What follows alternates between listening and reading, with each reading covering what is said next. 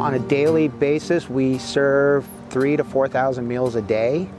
And the ability to use Just Cut and their already processed product saves us time and labor so we can be able to use local farms and produce the products that we need to out of them. JustCut is a social enterprise at the Center for Agricultural Economy. We're providing something that otherwise wouldn't be out there in the marketplace. Institutions can count on the consistency and the quality that we can deliver.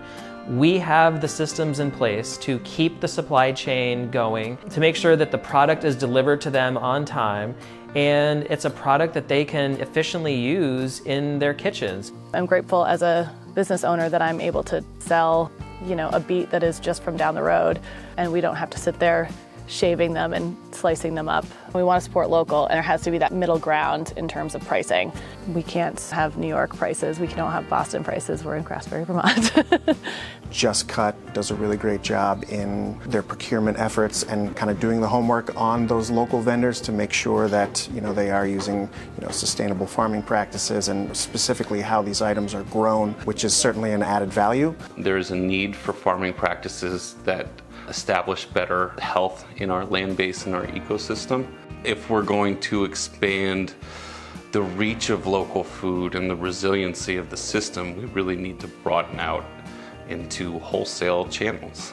We're growing in really large volumes, but because we're doing that, we need to know that our food is going to have a home to go to. So Just Cut provides us with a processing contract. And that is kind of a stabilizing financial backbone to our operation. And we advertise that. You know, we get it from Just Cut. And that, that way our customers know that we actually care about where our products come from. The fact that when we get a Just Cut product, we know that it was processed on Tuesday and we're using it for an event that weekend. It hasn't been sitting in a warehouse for three weeks before we get it. You can taste the freshness, you can taste the fact that it was on the farm not long ago.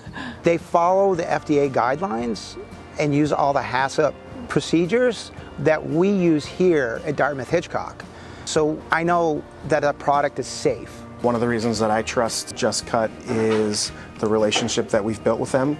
They add more products to their list based on our feedback, which is, has been you know, pretty instrumental for us over the past couple of years. You're getting the best product that you can get, and it's a feel good because you are supporting the local farms and the local commerce. Just Cut is offering something that is really needed Uh, across our country to think about how we can have that food system be a complete circle. An alternative model to the industrial food system is possible. You can actually do this at a scale that reaches a number of people and provides a product in a consistent, clean, efficient manner, and that's what's really exciting about it.